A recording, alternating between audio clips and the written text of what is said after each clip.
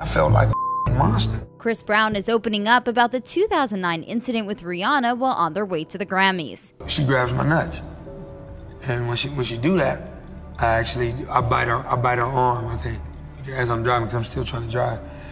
And it's just it's just like a petty, like stupid fight. Brown was found guilty of felony assault. I remember she tried to kick me. It's like just her just being upset. But then I really hit her, like I like I with a closed fist, like I punched her, you know, and, and it uh, busted her lip. And when I saw it, I was in shock. I was like, why the hell did I hit her like? So from there, she just spit in my face, like spit the blood in my face. In a new documentary, Chris Brown, Welcome to My Life, the Grammy winner claimed there was a history of violence in their relationship. It would be verbal fights, physical fights as well, mutual sides, and this is the first time I get to say anything. And like I said, I still love Rihanna. In 2012, Rihanna opened up to Oprah about her feelings towards Chris after the incident. He was the love of my life. He was the first love. And I see that he loved me the same way. The couple reunited for a short time in 2014, but the relationship didn't last.